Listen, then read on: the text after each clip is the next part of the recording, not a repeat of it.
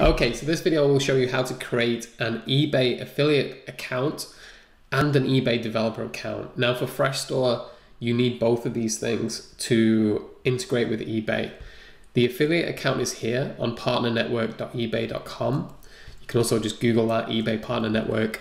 And the developer account is on here, developer.ebay.com.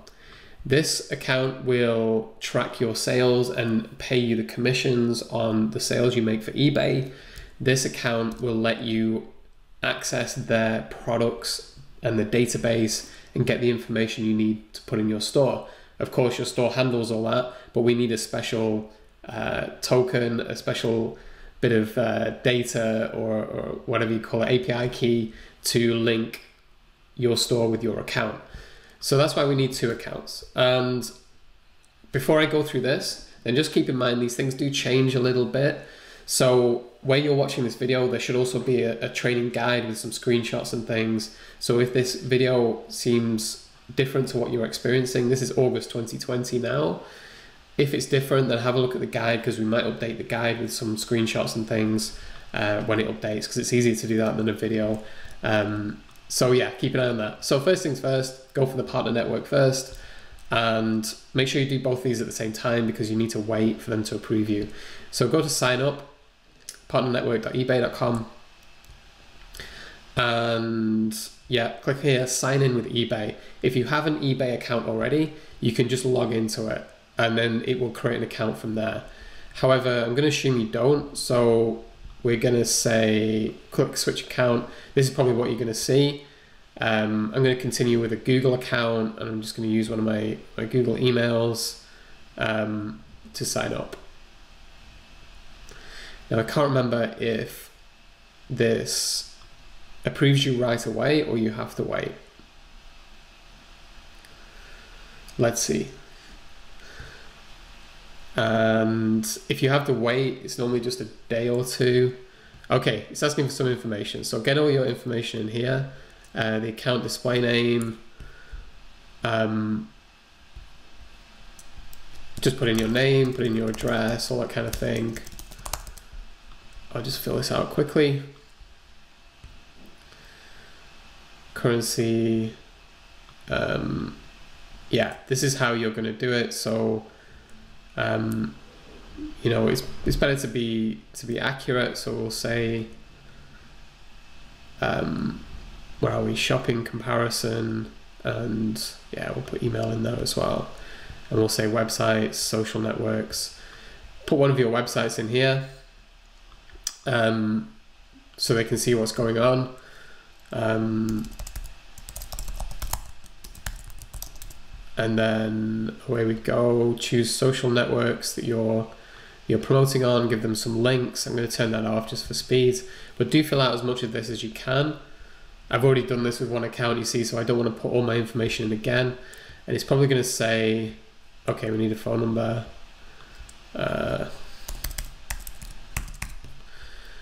it's probably going to say that it's waiting for approval after we've done this step yeah, it's under review. So take a couple of days, uh, maybe at the most. Um, but you still have your account, you can still be logged in, and you'll get an email when that's done.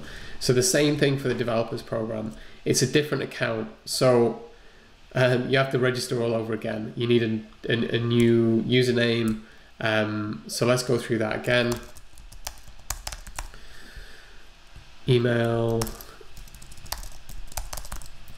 and it will ask you for some details, same as before.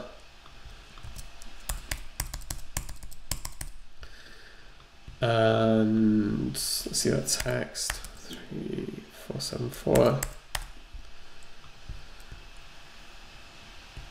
Oh, I already have that email.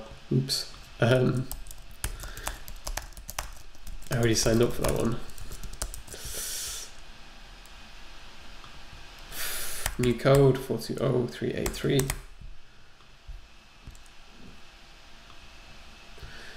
Okay, so it's going to ask you to confirm your email. Um, once you've done that, it's going to say it's waiting for approval for a couple of days. So we'll come back to that and I'll show you the next step after you've done these. Okay. Okay, so it actually was really quick for them to approve the eBay Partner Network account. So that approved within a few minutes.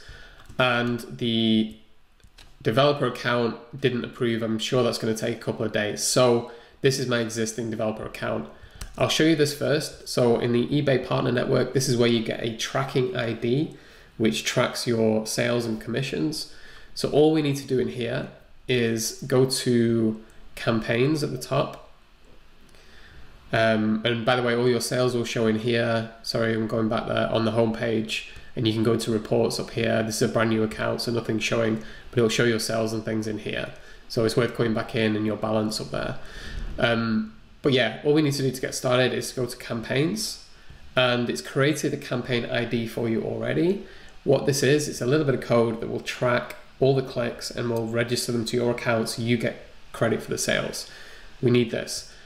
I recommend that you create a new campaign for each store so you can see which store is making the sales. Uh, that's what I do, but if you want to keep it simple, then you just need to copy that. Um, and we go into our store. So in my uh, trusty Wheel of Shark store, this is the eBay settings page. Um, link to the guide and everything here. And that first thing goes into here, eBay tracking ID here. So paste that in there. Um, and the next bits come from the developer account. So I already have mine set up here. All you need to do is click on request another key set here or request. I'm not exactly sure how it will look, but it'll be a little bit different to this, but you'll have to request and then you'll have an app ID here. You need that app ID, copy that out um, and put that in the top field here your eBay network ID, keep that as the default, your locale, whatever that is for your store, whether it's UK, USA, and then you need an eBay user auth token here. So we get that by clicking on here, user tokens, and then we sign in here and it gives you that code. So if I sign into production, um, sorry, let me go back. This is one thing that you just got to make sure the environment is on sandbox. And also when we go back to the beginning as well, make sure you're on production. Wait a minute. Yeah, make sure you're not on sandbox, you're on production. So when we click on user tokens, what did it say? Yeah, production. We need to be on production. Um, so yeah, that's fine. Click sign in um, on this default one here, uh, auth and auth, sign in to production, and we need to sign back into our eBay account. Um, I'll just sign into one of my defaults here. And we grant application access. It is a little bit complicated, but there we go. Um, that's the code you need. So copy that code out and put that in to your eBay user auth token here. And that's it, that's done. Once you've done that, uh, save and test, it should tell you that everything is working fine um, on your store. Nothing was changed on there, and then just go and do a quick search for eBay products, and everything should be fine. If you need help with it, contact the help desk. We'll be happy to help you, but just follow through those steps. It does seem a little bit complicated, but just follow through it step by step, um, and you'll get there. No problem. Okay. Also, as I said at the beginning of the video, have a look on this page in case anything has changed or if there's anything that we're highlighting um, that might help you on this page if you're getting stuck. All right, thanks for watching. Cheers.